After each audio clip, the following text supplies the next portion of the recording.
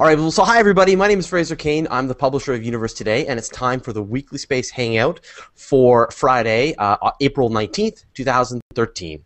And so today, uh, you know what? Actually, we've got like two of possibly the biggest stories we've had in a long time. So I'm certain. I was thinking about that as we were just getting ready for the show. That actually two massive stories happened in the last. Uh, like week. So we'll, we'll get into it. Uh, so the first one we're going to talk about is the Kepler discovery of two potentially habitable worlds uh, and the possibility that dark matter has been discovered. So like done. We could just again, yeah, right, um, right. But also uh, a cool story about how uh, the first Soviet rover might have been discovered on Mars, uh, dead, and uh, NASA's plans to capture an asteroid, which is also big news.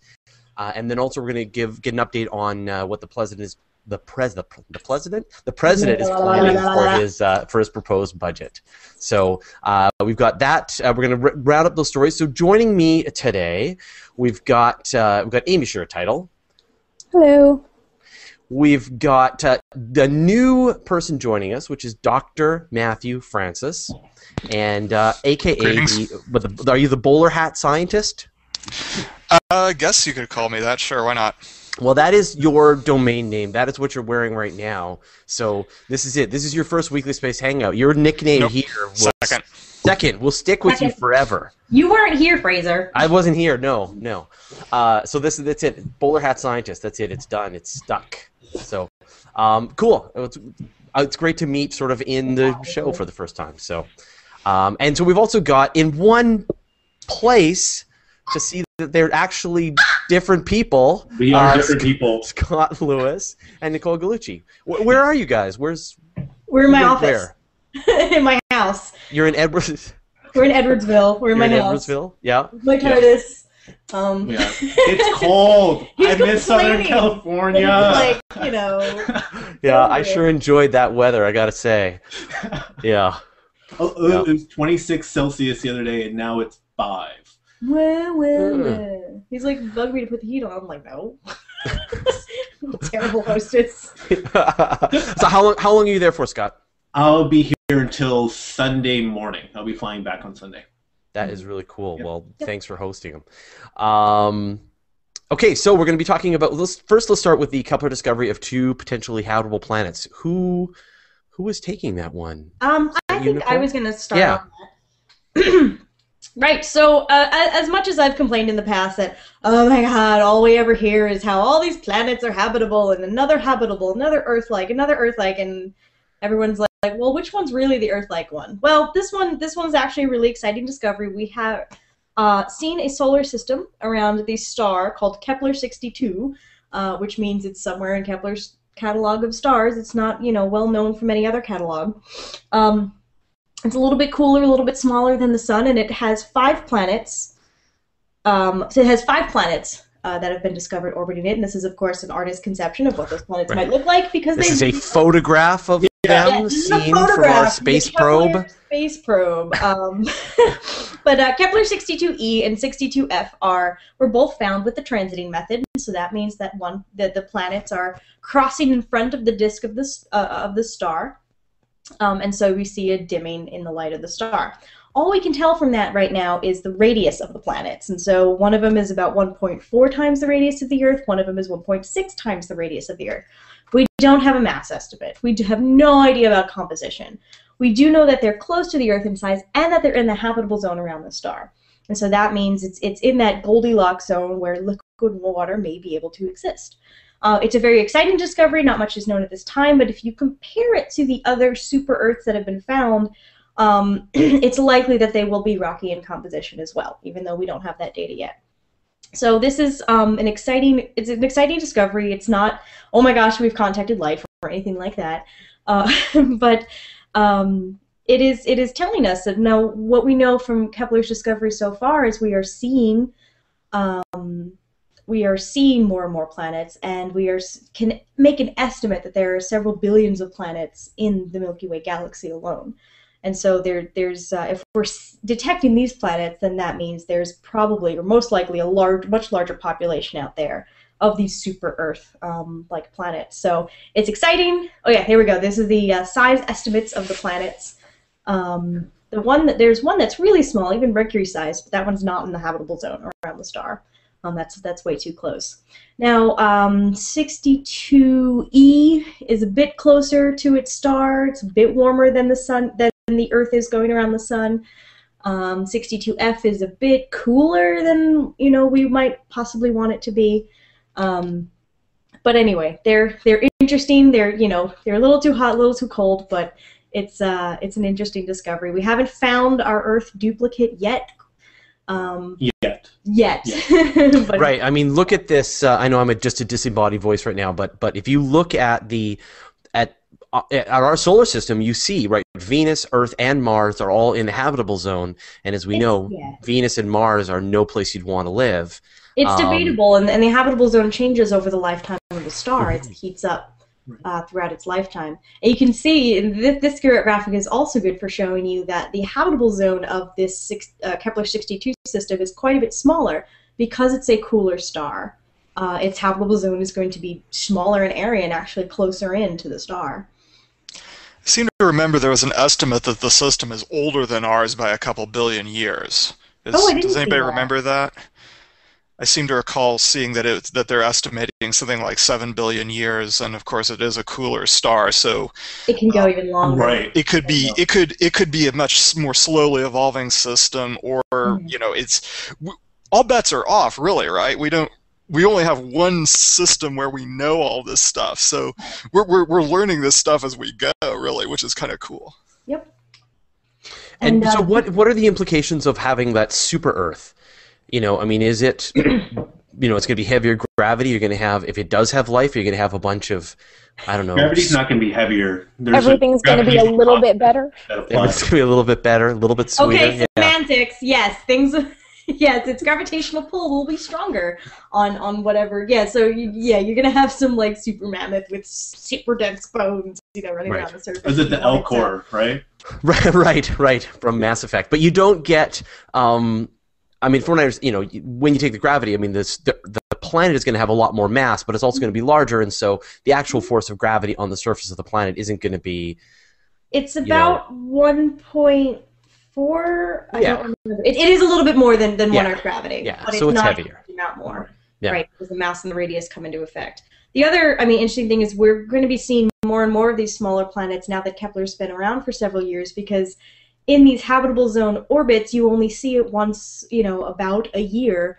Um, and so, in order to see multiple multiple transits and be sure it's not a star spot, it's not some other kind of weird phenomenon, um, Right. that it is indeed a planet. And so, in order to be repeatable, we've had to wait this long uh, to confirm. Right. I mean, that's the real. I mean, people's impatience, right, is that you need that. You know, these planets, they're going to be small. They're going to be hard to detect. You're going to need to make a lot of observations. And if you're looking for a world that's going to be in that same orbit as the Earth, you're looking at a year per orbit, and you're going to need multiple orbits to con- confirm. And so we're really only a few years into Kepler's mission anyway. So it's you know the the all the really great discoveries are still in the are still in the database somewhere, waiting for that those third and fourth confirmations before Mm-hmm. And then, of course, really you need you need ground-based uh, follow-up as well to, to actually glean some more information about the planets if you can, something about their mass or something about their composition.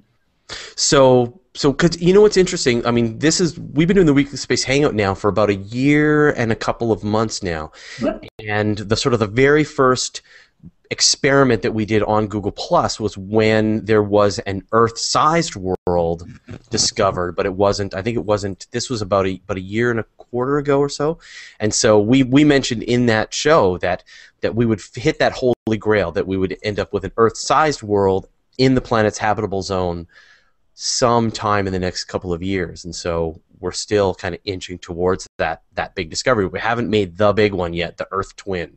Right. But even even if we find Earth's twin, there's no guarantee it's habitable. Right? We can all we can say is it's in the habitable zone. It's likely habitable. I think that's what we're saying about these these planets as well. So Um, I it- yeah, what would it to- you take- Go into the composition of, of what's on it, even though it's very similar in, in, in mass and radius, and its its orbital period could be close to it. The composition plays a lot into what's going on there as far as you know dealing with any sort of atmosphere. Just you know the chemical compositions plus anything else around it really will play an effect on what's going on in that system. Now, do we have any technology that you know, if one if one of these worlds, you know, do we have any way that we can actually confirm whether or not the world is habitable? Any way to get a sense of these if these planets have water, or even if they have some kind of you know oxygen in their atmosphere or pollution? I mean, do we have any any way radio wave spectroscopy? in the atmosphere could be an indicator that um, respiration is going on, but there's oxygen in other environments too, so that even wouldn't be a telltale sign. So, but but we don't even have a way that we could even detect it right now. Well, that's We a yes, yes or no. It you you kind of have to get the edge of the atmosphere when you're. Pardon me, I always talk with my hands. I'll do use my hat. No, No, When you you have have when you have the when you have the edge of when you're seeing the edge of the planet. Mhm. Uh, okay, so if, think of my face as the star. Okay, and here's the planet. Okay, so when it so you're see when you're seeing the edge of the planet, the the star's light shining through the atmosphere. Sometimes you can pick up a little bit of the chemical composition, but we've only got that for a small handful of exoplanets. It's But- it's not easy to do. We've never we haven't done atmo- uh, We've done water though. We found water, haven't we, in atmospheres on exoplanets? I'm not sure. I think But- we have. The thing about the Kepler discoveries is they are all transits by nature, and therefore there is an there is an opportunity to see the atmosphere um, in that transit. Now, of course, an Earth an an Earth a smaller Earth-like or super Earth-like planet um, is probably it, it, it something that's habitable the way we think of as habitable is probably going to have a thin atmosphere. The Earth has a really thin atmosphere compared to the size of the planet. It's not like Jupiter where it's all atmosphere. Um, so it may even be be harder to detect. I think, what's actually going on in the atmosphere because it's so much thinner. Yeah, I believe all of the the exoplanets where we have any kind of atmosphere chemistry, it's for super Jupiters, planets that are bigger than Jupiter and are orbiting closer than uh, Mercury orbits to the Sun. I believe those are the only ones we've got any kind of uh, um, atmosphere for so far. Just because it's easier. I, I want to address some of the comments we're seeing. Um, uh, Tom Nath asks us how much longer will Kepler mission be going. I did a quick Google search, and uh, I, I remember hearing that it had been extended, but wasn't sure how long. And it's been approved for extension through 2016. So that's a good number of, of, of years more of data that can be collected on these. Um, uh, Andrew Kornblatt asks or mentions if we find a habitable like planet, there's still a large chance it may not exist. Um, that's not necessarily true. It wouldn't be trillions of light years away. Things that we're discovering with these telescopes are not that far on, not that far away on a cosmic distance scale. We're talking millions of light years away, and millions of light years away are sorry, not even millions of light years away, but within you know thousands to hundreds of light years away, um, Hundreds. which is which is a tiny, tiny fraction of, of a stellar lifetime. And so the things that are close enough for us to see wouldn't have necessarily gone through that evolution phase. Uh, and Craig Landon, thank you for asking this. Can ALMA pinpoint atmospheric composition? Uh, not necessarily. I think ALMA is better at looking at systems where planets are forming. ALMA sees the emission lines, um, not so much absorption, because uh, in front of a star, the way you can in optical. So planet formation. uh, Oh, and ALMA Walter got you. Uh, Walter Wong makes a good point, right? It's kind of confusing with the term habitable. Is it habitable to human or bacteria? Like a thermophile could survive at high temperature, and I think that's a really good point. It depends on on yeah what what you consider exciting. I think finding microbes would be awesome. Yes, if we find planet tardigrade, that's all that's there. That'd be water awesome. bears in their watery paradise. Uh, but you can, you know, I mean, I think the point, I mean, the the definition, if I understand, is that it's just that water can exist in a liquid form mm-hmm. within that within that zone, and you know, wh- whatever you're going to get with that is is what you get. It's a very Earth centric term that we're using, and we Yeah. Well, and, well, and we kind of have to, because that's what we base all life that we know in the universe is off of Earth. So we do have to go with what we know, and I mean that's the, the you know the best way we understand about the different stars is we have this one really really close to us, so we can study it as much as we can to help better understand what else is around us. So when it comes to discovering the the other planets, we have to go with what we know, because we don't Uh, have any other examples. Itia Katu on YouTube notes that planet tardigrade would be the cutest planet in the universe. I It think would. that's really good. It would. Yeah, just a water bear paradise.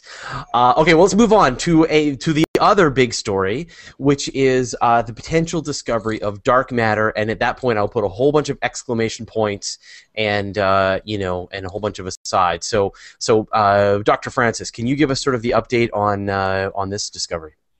Okay, well, first of all, um, I'm as excited about this as as well. Okay, I the first reaction should always be skepticism, and so I'll I'll, I'll pour the cold water, and then we'll pour the the uh, the whiskey over the top of the cold water.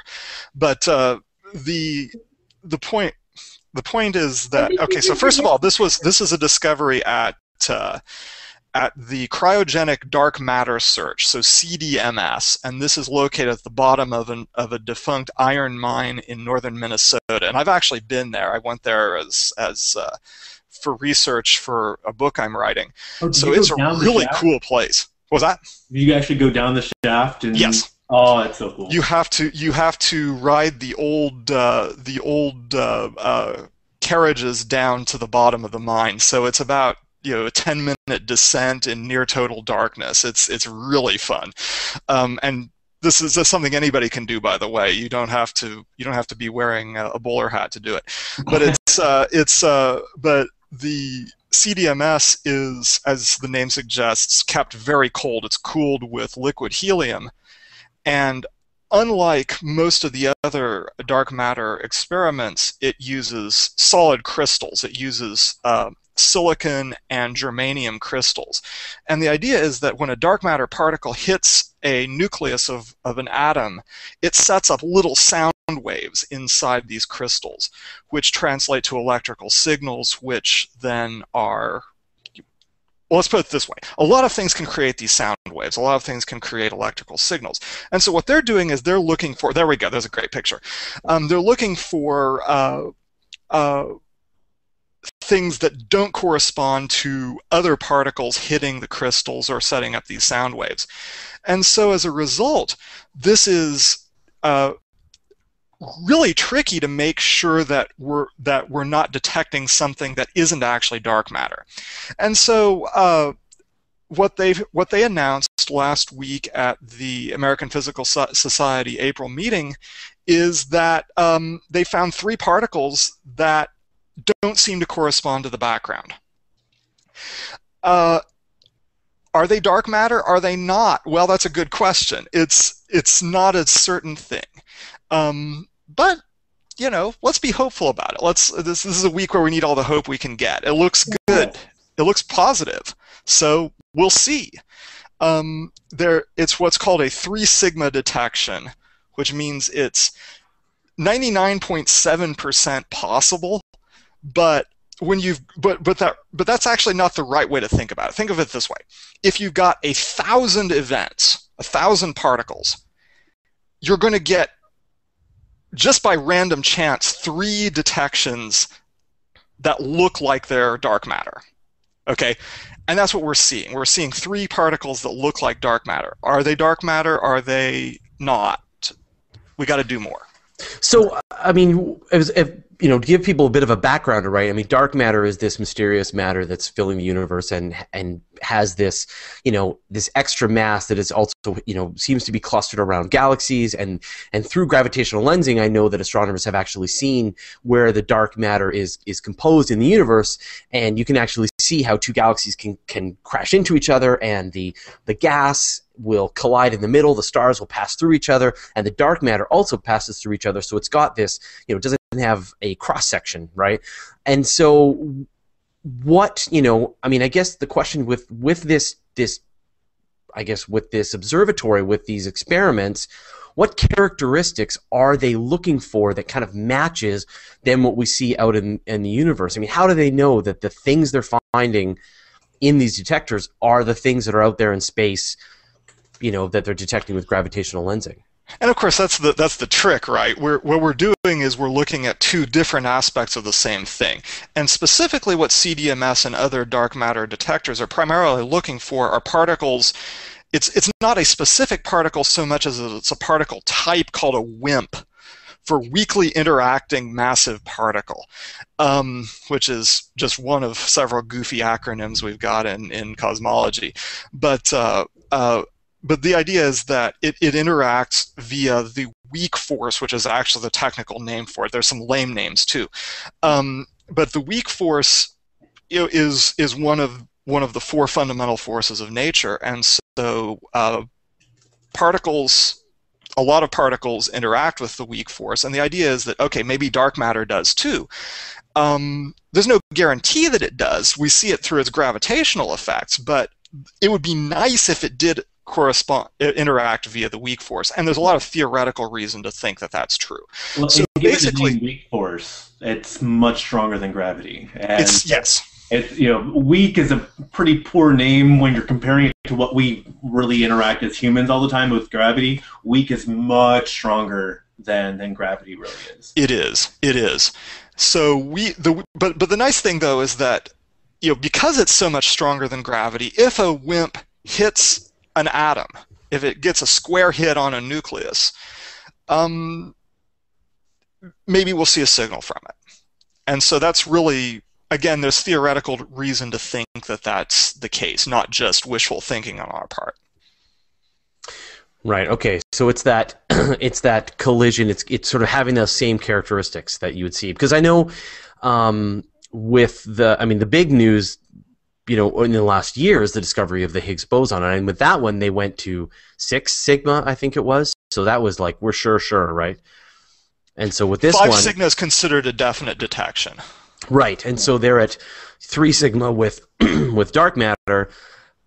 You know what does that you know what does that kind of mean? And you know i know they'll say well we're not sure but more science. does that yeah we need more science. We need another bigger detector. But i mean is that fairly certain i mean i'm trying to give that put that in context uh, is it done have we got dark matter no. now can we move on to a new problem but I don't no, like you, like you said, there's a, three sigma still leaves, leaves a significant chance that it is a random event that is masking itself as the dark matter particle. Right. So you need once you're at five sigma, you you can be pretty sure statistically that it's not a random event. So and by the way, this, that, oh, I was just going to say to reach that five sigma, would you just need to keep running the experiment for a longer period of time, or more sensitive instruments? both. Um, Yes. Yes, well, I mean, ideally, More ideally, science. all of the above. Well, the other thing too is that this this agrees with uh, uh, this agrees with a marginal detection from another detector called CRESST2, C-R-E-S-S-T, and don't ask me what that stands for right off the top of my head. What does that But it- stand for off the top of your head? Look, I can hit him in real. There we go. Uh, yeah, so yeah, you, you hit Scott, and I'll keep going. Awesome. Um, but anyway, but the uh, but it also disagrees with an, the results from another detector called Xenon.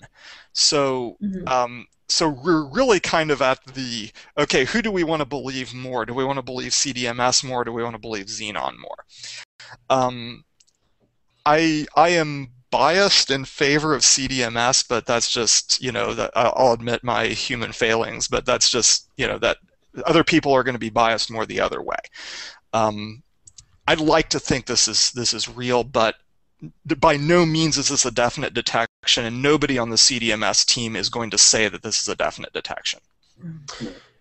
Right, and so um, I mean, I guess I'm just wondering if if to where this is going to go over the next couple of years. I mean, is it now sort of on the final stretch? Do we we're just trying to nail down because it really felt like for the last few years we were on the final stretch with the search for the Higgs boson. We had enough. You know, instruments going. We had enough eh, preliminary results that, and enough people, enough respectable scientists really saying, "Okay, I think we're really getting there now." Do you feel like we're sort of in that same sort of final stage of this now? Do you think another couple of years and we should? Few more years, and I think we'll be able to know whether dark matter is a WIMP or not. I will say that. Okay. Um, we've got CDMS is, is having an upgrade, um, creatively called Super CDMS. Uh, Xenon is having an upgrade, and then there are several other detectors that are going to be coming online. So uh, and, and others that are having upgrades. So basically, um, basically we're getting the more sensitive detectors you asked about, Fraser. It's Yeah, it's really it's it, it, we're going to narrow it down. We're going to be able to say for sure is dark matter a WIMP or is it something else? That is awesome. Yeah, we're coming in on that search space saying that. Yeah. but You macho or you to wimp? say Come it's a wimp. Macho and- and a wimp. It's not a macho. It's not a macho. macho. Yeah. If if it is this particle uh, that you know that that now they think they've you know defined some of the parameters. I mean, what does it you know where does that fit into the standard model of physics? Does it have some place in the the rest of the discoveries that people are making? Like what? This is beyond the standard model. Yeah. Right. This is this is uh, this is we, we know that the standard model can't be all there is. Um, dark matter is not part of the standard model. It doesn't correspond to you know, the particles that make up us, or the cousins of the particles that make up us. It's not that some So- kind of weird symmetry or supersymmetry. It could be supersymmetry, yes. Um, uh, supersymmetry, though, as the name suggests, is a symmetry. So it doesn't tell us specifically. Okay. I I mean, it tells us it tells us something about the type of particles we might expect, but it doesn't tell us exactly what their masses should be. It doesn't tell us, you know. It, okay, let's put it this way: there are WIMPs in supersymmetry. Okay. Um, And so uh, that's part of the reason why the WIMP regime is one that, that we we like to look at. Mhm. So And the and the other is you know something like the bullet cluster, which uh, Shivan Gupta mentions, Yeah. um, which Fraser was referencing, is is uh, these clusters that we've discovered where the uh, the stars have gone through each other, and we expect that, and then the gas is collided and centered in the settle, is centered in the middle, and we expect that, uh, and the dark matter goes through each other, and that's what we would expect of that particular uh, of some sort of particle like that. You wouldn't see, uh, you wouldn't necessarily see something else doing that. Trying to recreate that with um, some other physics uh, tends to be problematic. right, Yeah. Oh, welcome Nancy Atkinson. Nancy. There's a a bullet cluster image. Um, uh, so we're now going to move on to uh, this is a story that Amy's working on, uh, which is really cool. Uh, the, so the first Soviet rover uh, might have been discovered on Mars.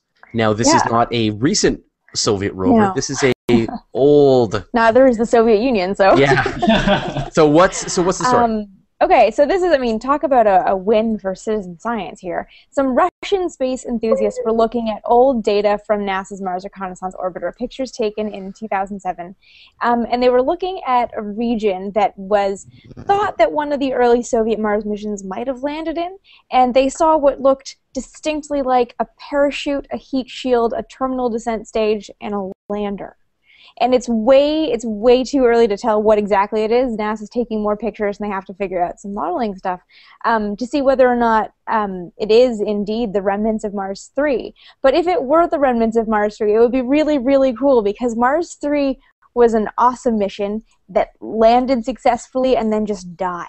So Mars 3 actually had a twin, uh, Mars 2. They were very creative with their names.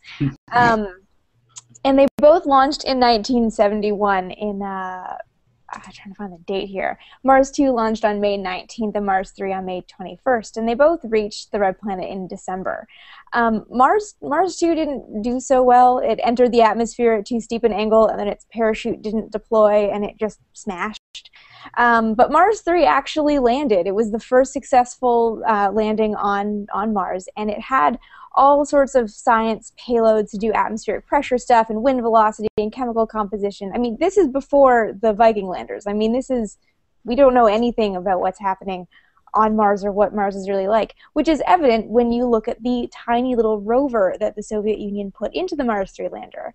Um, I don't know if anyone has a picture of it. I should have sent that. Um, But It was I- this. I- from your article, I have. Do you one. have one from the article? Because it was this little boxy thing on skis. I mean, it was totally informed by the fact that that Russian winters are, are best uh, navigated with skis.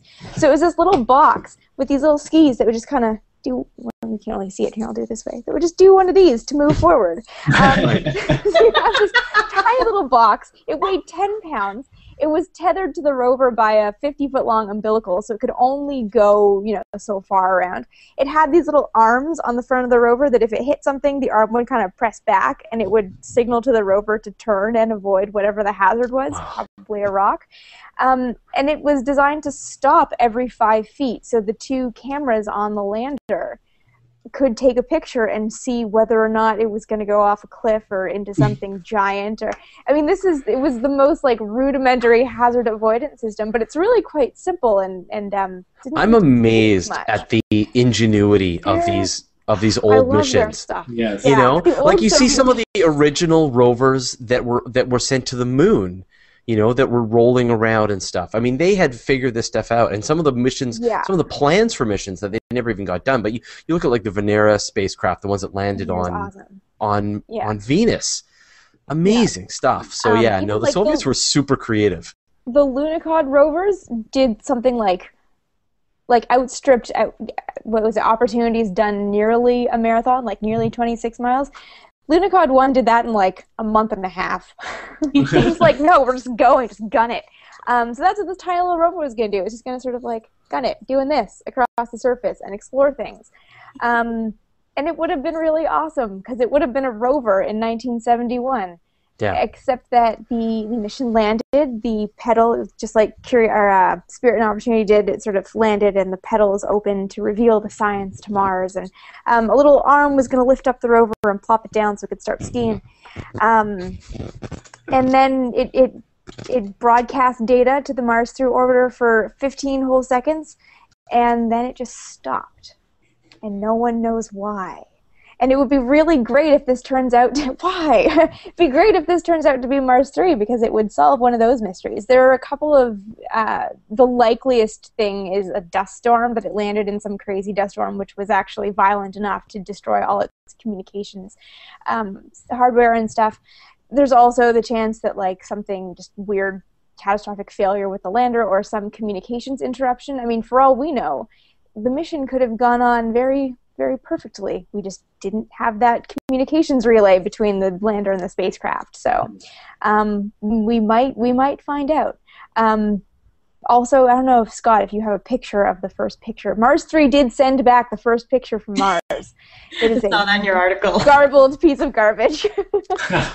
Um, but Um, but there's, it's there's kinda been a lot of missions Mars. that people have been looking for. I mean, this is not the first mission they've been searching for. They've been, you know, they've lost what the Polar Lander. There was Beagle Two. yeah. There's a whole bunch of missions that have I mean, there's a bunch gone of missing on Mars. too. Like so, so many things. What was the the other NASA one that they got Polar Lander? metric- Was it Polar Lander that the, Yeah. the, Who was the measurements Climate were orbiter? Polar lander. Climate orbiter. That's the one Yeah, thinking of. yeah. One, Um, this one looks like a probably. bad Atari yeah, game. there. Yeah. This this is the first ever picture sent back from the surface of Mars. Oh, it's so sad. yeah. So that that is sort of the interruption, and that is kind of consistent with what they think would have happened in a dust storm. But That's when Yeah. the big Mars monster. that's Yeah. exactly That's when the big Came out robot- of the ether and ate Yeah. lander. Yeah. That's when Marvin came out with this big ray gun. What do they What do they call that? Nancy, you might know. Like, what do they call it? The the sort of how all the missions to Mars tend to fail, and they have like the, the Great some kind of- Galactic Ghoul. The Great Galactic Ghoul, that's right. Yeah. That, that destroys it. And so many. If you look through, I love looking through the list of the old missions, and you mm-hmm. look through all the Soviet ones, and it's just failed, failed, failed, But they- smashed, failed, They did a good job landing. at covering how many failed because if they if it failed in the early stages, they would just call it a booster development test. There were I mean you look at you look through those records and there are a lot of proton rocket tests in the late 60s early 70s because they kept losing thrust and their their Mars missions never even left Earth orbit and they said no, That's really a interesting. It's a booster development test. I wonder, have Oh, you yeah. dug into like what was on that booster development test? Can you get that Um, information now? I think I think most of it is available now. I'd have to go looking, but I think some of them are just like there. There were planned, you know, what happened to Mars One. I think Mars Yeah. One was one that was reclassified as a booster development because it didn't actually go anywhere. So Yeah. I mean, presumably it's the same basic spacecraft lander orbiter thing, and just never. Yeah, orbited. but I wonder if there's there's just a whole bunch of rovers littering the ocean floor, and that they just didn't have the you know the guts to to announce that they were actually sending. You know, I don't. I don't know this if there was another. rover, not that Yeah. one. You know, that was I don't know if there were any other rovers except the Mars two and three. To off the top of my head, those were the Yeah. only two rovers, and they both at least got to Mars. So if if people ever get to Mars, it would be a really neat little Soviet relic to go find. Yeah. Come on, curiosity, just go find it. but I mean, when you think about the resolution of of the Mars Reconnaissance Orbiter, it, it wouldn't be that surprising that it would be able to see s- objects of Yeah. that size on the surface. It's just to know where to look.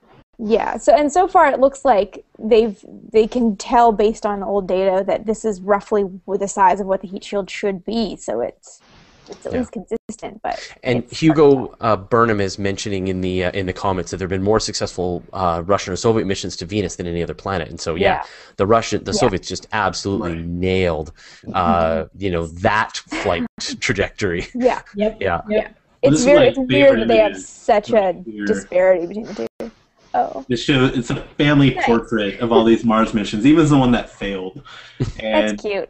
it's like, oh, look at all the dead robots. And Yeah, yeah, and so you read some of the stories, some you know, broke up in Earth orbit, radio failure en route, stranded in Earth orbit. Yeah, Fraser, I think you and Pamela did a whole episode about this on Yeah. Astronomy Cast. It's Yeah, we did. Depressing. it was depressing. We, we actually warned people in advance. We're like, this show is going to be really sad. Now we're going to talk about all the failed Soviet Mars missions and a couple of failed American Mars missions. Yeah. All right, well, let's Yeah. move on. Um, wait, wait, wait. First, we have to do the Amy Shuffle. Amy shuffle. This is good.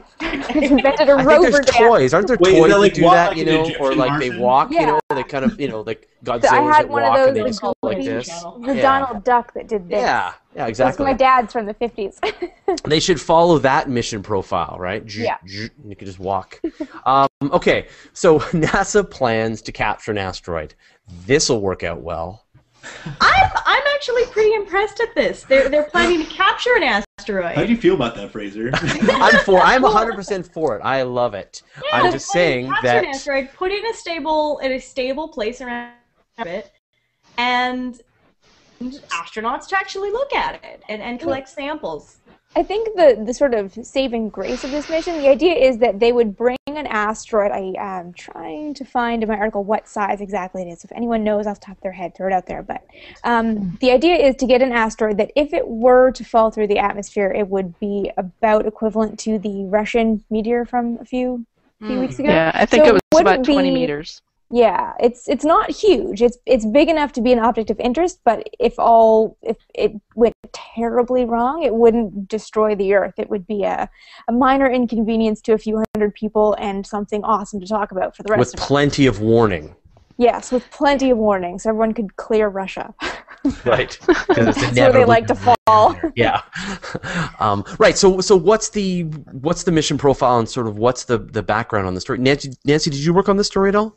Yes, yes, we did. Go So, um, yeah. Do you want to sort of give us a, a bit of a background? I know you didn't know you were going to be talking about this, so No. do you uh, remember? Well, I've been listening to the um, the Planetary Defense uh, conference this week, and uh, um, so I'm trying to kind of put a uh, something together of just kind of an overview of what everybody thinks about the whole concept and uh, why this is important for planetary defense and why planetary defense is important and uh, is there a, a real threat out there or is it being kind of um, exaggerated or uh, so it's it's kind of an evolving story and at least on my end anyway I'm trying to put uh, something together. But um, yeah I think it's really interesting I, I think it's kind of cool and um, uh, the whole concept of um, you know the mission that was talked about of a, a space station being in the um, L was it the L2 orbit L1 um, and so I think this is kind of maybe all coming together Yeah. uh, if you put a if you put an asteroid there, you got to have a um, you know a spacecraft, or you could put a small space station there. It, I don't know. It would. I think it would be cool. And I mean, obviously, learning to control the position and orbit of an asteroid is an enormously important uh, skill for the protection of the of the Earth in the future. I mean, it is, as we always say, it's not a question of of if; it's just a matter of when another object is going to hit us. And we were reminded by the Chelyabinsk meteor that happened, Chelyabinsk meteor that happened earlier this year, that from time to time, great big chunks of, of rock hit Yeah. Hit the earth and kill a lot of people. And so the sooner we can get on this Well, skill, the better. as, As as a species, as- being able to go out and capture asteroids and uh, just that that skill set, like you're saying, is something that's huge in advancing just planetary defense. Saying, hey, we can go out and relocate things that might cause a bad day uh, Right. on Earth. And as as Rusty Schweickart likes to say, you know, we have the technology to do it. We just haven't tested it out. And you, you if you've got something that's dangerous and you don't want to be amateur hour at that point. You want to have tried this out and tested it and see if it's actually going to work before you actually really need to use it. And so I think you're mentioning, you know, the L2 Lagrange point. That's one of these positions that are stable around the around the Earth. And so if you could actually slowly maneuver an asteroid into that position, then it wouldn't go anywhere. And then you could come back and you could study. it. You could send missions to it. You could send humans to it and mine it and tear it apart and hollow it out and you know. Yeah, I mean, there's just so many concepts here. There's the science concept. There's the technology Yeah. concept. There's the technology development. There's the uh, you know, are just the skill set that you get from Yeah. doing something like that. and it's you know it's a place you could go for geology to understand the composition of these things. So it's a you know it works on so many levels. I think it's a Yeah. yeah, i mean you know i was joking at the beginning about you know about it not working out well uh, because it really would. I mean it would it would help protect the earth. It would help us understand these objects. It's science. It's safety. It's it's everything. It's awesome. Yep. so when's it when is it when will we find out that it won't happen Uh, well, so from what I've seen, it's it's it's a line item in the budget now for to develop the concept, and the most optimistic estimates estimates say 2017 launch. At this point, I think it's just a part in the budget, um, which is, is a larger story we could we could touch on. Well, these kind of things are always five years out. So Yeah. Yes. or they're I 30 see- years out yeah. Didn't I see somewhere that they were trying to make this mission part of the justification for the SLS system, which would put it in like 2025 launch? oh. 'Cause I, Well, I saw doing- that somewhere, and I, I don't don't quote me on that because I can't remember where Well, I saw they that. do But have that would Send up a human humans to Humans. actually look at it. Yeah, the, well, human, well, the humans don't have to capture it, but they would need to still test the rocket and to then test the technology, and, and that Right, would there- Needed at L2. SLS, yeah. There's an SLS test uh, in 2017 or 18 Yeah. that's Okay. scheduled. Right. So, But the the sort of the asteroid exploration concept has really heated up in the last couple of you know within the last year, not just from the government having a look at it, but also just all these private firms, right? There's Planetary Resources. There's the I forget the name of the one that B612. that Tumlinson's doing. There's the B612 Foundation. So there are enough private organizations with serious resources that are going to be going down this this pathway as as well. So you know, I think we you know.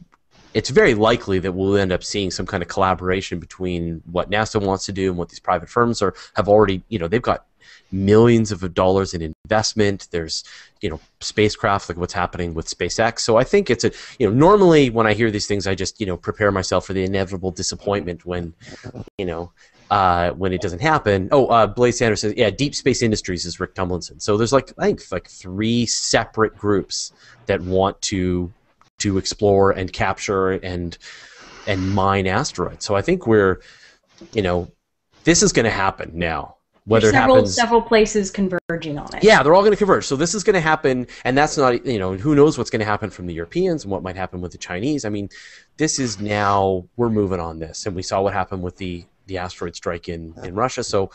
Yeah, I, I feel very confident now that something of this is going to happen in the next couple of decades. Right. I don't, I, you know, launch in 2017. That sounds pretty ambitious. That's yeah. um, But I guess, as you mentioned, right, they're, de- they're developing the SLS, so the the need is to use it for something, right? Let's go places. Let's go places, right? And it's it's Something to do. something to It's a do, and it's a pretty beefy launch system. So it's going to have to, you know, they're going to need some big target for it. So that that kind of makes sense. So maybe I'm talking myself out of my skepticism and humbuggery. So Good job. I don't know.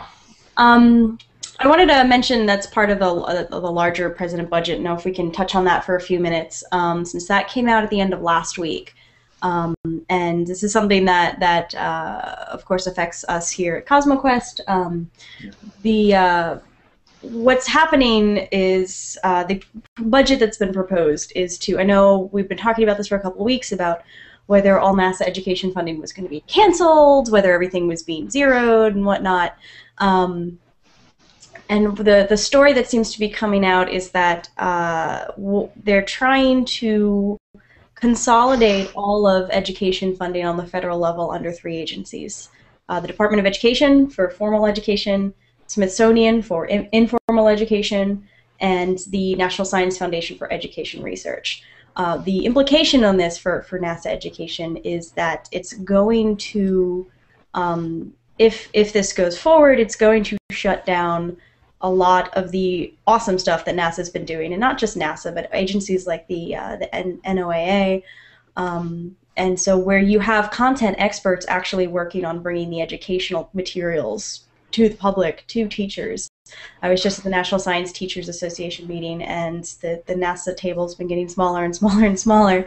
Um, and this might be the last year that they're there at all, uh, providing those resources. And so we're uh, just kind of again waiting to see how this how this rolls out, what happens. Um, so like I said, I you know the asteroid capture thing was nice, but the rest of the, the education part of the budget is really what I've been focusing on in the last week. Um, and for what that, that means for us at CosmoQuest, of course, is that we're funded by NASA mission funding as well because we do science and we do outreach and we do education. Um, and so it's going to be difficult to um, keep our funding. Our funding sources are going to change, if not Right. outright go away. Um, so, if. Yeah, you know, we're definitely gonna have to be fluid in in, in the way that we're looking at our funding, and we need to be, you know, we need to adapt and, and try to adapt and overcome to these hurdles that are coming our way. Um, so you know, we, you know, with with all of our uh, our shows, even like this, the weekly space hangout, the virtual star party. Um, Learning Space, they're all a part of our, our outreach with CosmoQuest. And so um, we'll put a link out later that if you want to contribute at all to CosmoQuest, um, you go just cosmoquest.org slash donate. But, and you don't, you know, don't feel like you, you have to financially do it, but even sharing out what we're doing Mhm. and just sharing out on, on Twitter and Google Plus and Facebook, you know, spreading out the fact that we are out there trying to get everyone excited and engaged with with space science and astronomy and and just helping understand the universe that we're all a part of. That's you know our real big mission going on and getting everyone involved with that. But you can look forward to, we'll be doing some crowdfunding uh, projects and some fundraising opportunities to keep these projects going and to expand what we're doing. And uh, so look forward to that. I think I can I can more or less officially announce Pamela and I are going to do a 24-hour Google Hangout fundraiser in June, one weekend in June. Uh, This is where we get to watch you go crazy on air. There's all kinds of skeptical, This is but I gonna be know really fun. Crazy. Yeah. No, I'm in. I'm in. I just, you know, So we didn't do the full 21 hours. I cannot wait to watch you go crazy. We're gonna you go know, crazy tune on in air. at the 23 hour mark and watch you, Yeah. you know, yeah. Do it, Jerry that'll Lewis. So yeah, we'll be looking. We'll we'll be inviting some guests in to entertain us and keep us from going completely insane. Uh, but uh, that that's one thing we have coming up. And like I said, we've got some crowdfunding uh, opportunities to keep our to get our new science projects rolling. So you can actually help us do more citizen science. Yeah. Um, and uh, look forward to that once we get all the paperwork straightened out. it's not all doom and gloom. We we do have a lot of things still planned and going out. It's not you know the sky's not falling. Um, the the the you know the pocketbook shrinking, but the sky's not falling. We're still excited about doing um, all, just engaging with all of you and doing wonderful citizen science, getting the world involved. Uh, so, so we've got a few minutes left, and Nancy, you had mentioned just Somebody doesn't believe we're in the same location. That they um, uh, Nancy, you mentioned brief. It's a green screen. This is a very clever green screen. Um, Thank you, Vance. yeah, uh, um, right, Nancy, you you had mentioned sort of here that you there was a story about the International Astronomical Union and uh, Uwingu, and we actually had Alan Stern on from Uwingu here uh, a few weeks ago, and so there's sort of a bit of a kerfuffle going on right now. Did you want to sort of give us a little information on that? Sure. Uh, um, uh, you know, the Uwingu has had their uh, uh, name a planet contest, uh, collecting names for exoplanets, and then they recently started another contest to name uh, Alpha Centauri Uh, that they thought it just needed a little bit better name than that. So um, anyway, um, uh, the IIU IAU last Friday issued a statement, and they didn't name Uwingu specifically, but it's it's pretty obvious that's what they were talking about. That they said, um, uh, you know, that um, I'm trying to find the their their press release, but anyway, it's that um, that the IAU should act as a single arbiter of the naming process, and and that uh, you can't really buy the name of a planet, and um, um, so we talked. Uh, I talked to Alan Stern, and he just kind of said, um, well, he's always been upfront that he didn't really expect the IAU to um, adopt their names or or to uh, endorse what they're doing, but he just wanted the public to be involved. And he, what the original intent of their exoplanet naming gathering was to provide a baby book of names for um, exoplanet, you know, for um, whatever who who's ever going to name an exoplanet that uh, they'd have a, this group of names or list of names to choose from. And the IAU stance so far on um, exoplanet naming is that they uh, originally their plan was that they were not going to do it because uh, they said there was going to be so many it would be really hard to do. Well, in my mind, you, you know, Uwingu's gathering of names and having them available just fit that bill. Um, you know, it, it solved the IAU's problem. Right. Um, but now the IAU say they are going to um, meet this year and decide whether they're going to do it or not. Now, a, a few uh, things have come out in the midst of this. Um, uh, let's see, Jason Wright, he's an astronomer and a blogger, uh, wrote kind of a scathing uh, blog post about um, that you know the IAU really, since they said that they're not going to name exoplanets, that they really have no jurisdiction here, and uh, and in fact, uh, there was interestingly um, uh, people being upset about people naming things. NASA named a, a star system this week, and uh, so uh, they named it UGA 178 1785, the Kepler 30, 37 star system.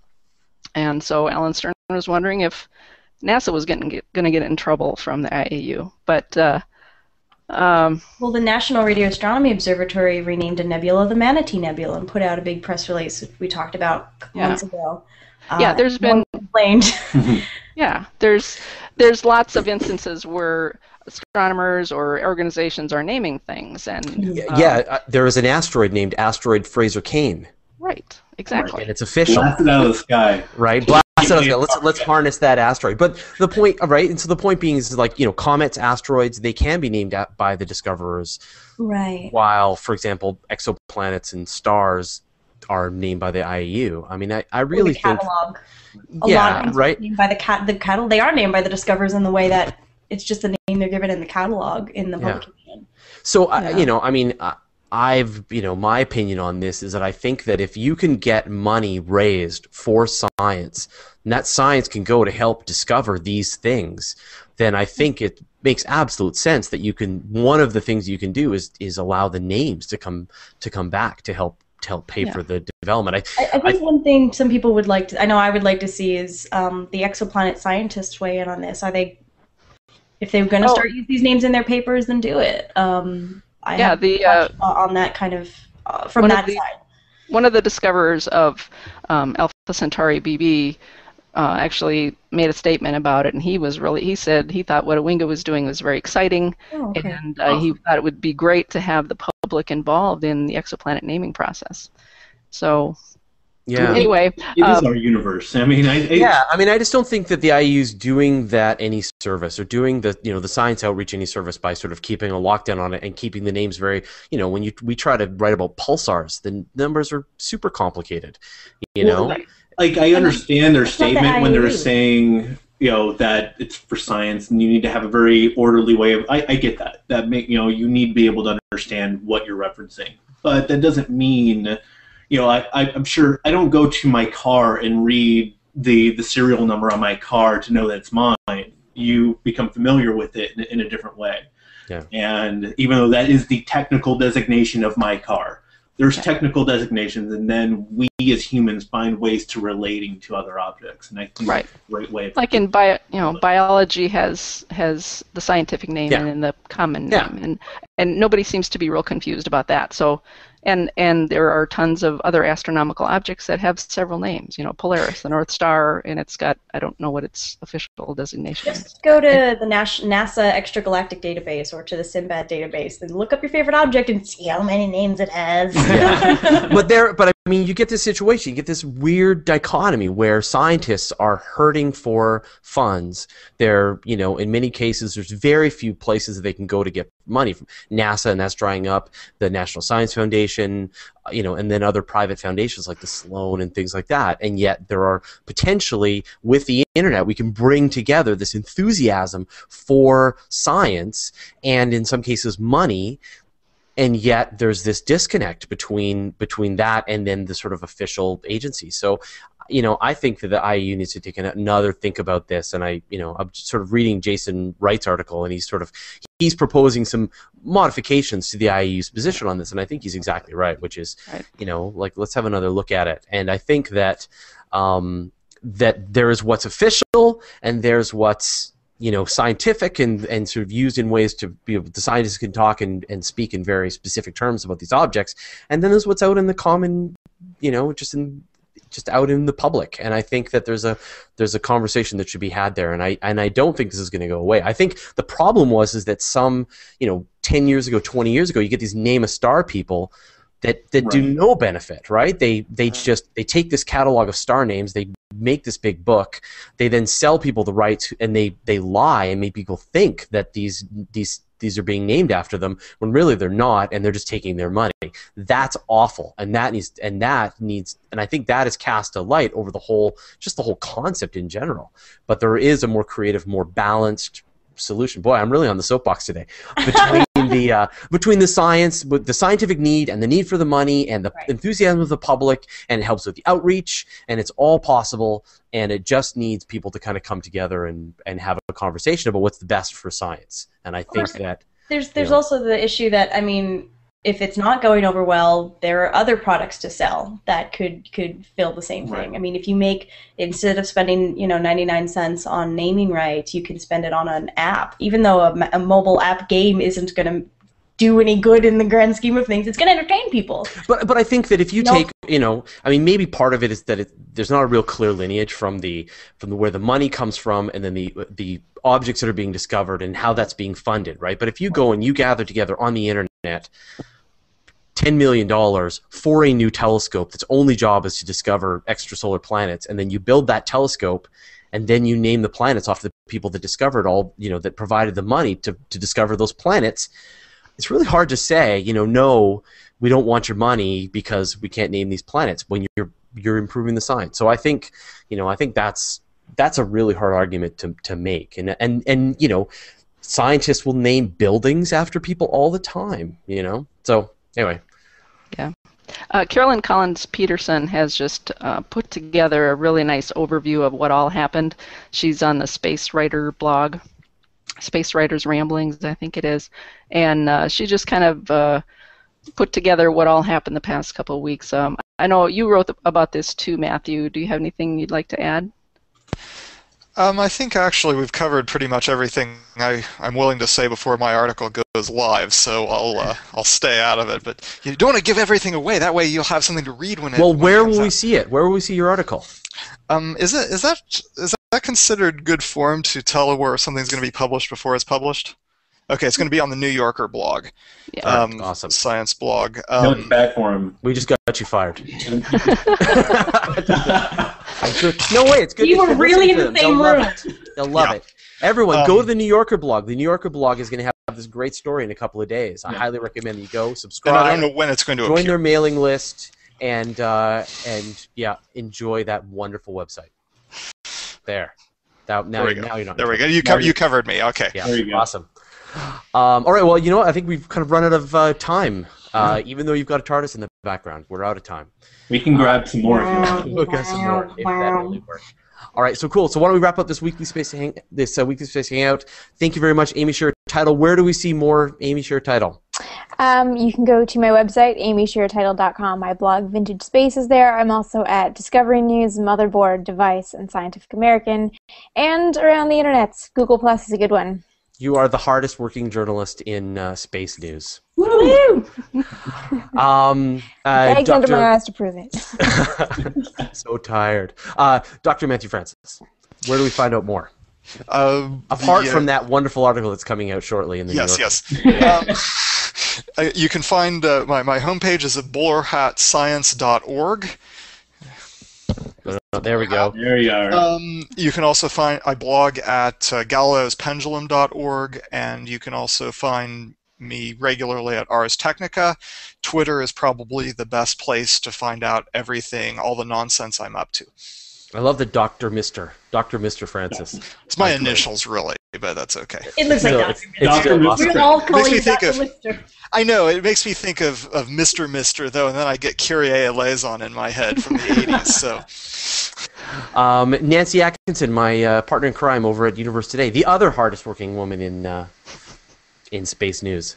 Uh, Yep. Nancy, what do you? Where do we find more Nancy Atkinson? Nancy is at uni- or Universe Today and uh, soon coming out with more podcasts for the NASA Lunar Science Institute and uh, at Nancy underscore A at Twitter Awesome. and Google and Plus. and this Scott Galucci, Galucci? Scott Galucci. Galucci. Did you just make him my son or something? No, I made a I No, made a you know took Brangelina. Got married. Yeah, And, um, Lou- I took. Scott Wait, Cole. Scallucci. Galucci. I'm trying to sort of merge you together into some kind of Oh, Brangelina please. Galucci thing. the Wonder Twin. Very Yeah. All right. Wonder Twins. Twins. Scott Scott Lewis. Where do you find out more Scott Lewis? Uh, everywhere. Uh, I my website's knowthecosmos.com. I am on Twitter at Bald Astronomer, Google Plus plus Scott Lewis. Um, virtual star parties on Sunday night with Fraser, my co-host. We take over the world and show everyone the the universe from the telescopes from across the world. And yeah, um, I do the production for 365 Days of Astronomy and work with Astrosphere New Media and CosmoQuest. Awesome. And Nicole, where do we find more Nicole? In my house, hanging out with my cardboard TARDIS. Uh, I am Noisy Astronomer. I work for CosmoQuest. Uh, I am the postdoc with the most rock there. She is. Uh, and the website's back up thanks to this guy and Corey, our lead programmer, who were sitting on in my living room yesterday, desperately trying to save the website from a DDoS attack. Um, yeah, that's all the news we got going on. Come visit the site, visit our shows. Please do science with us. Uh, if you can donate, and if not, please just share all the awesome stuff we're doing.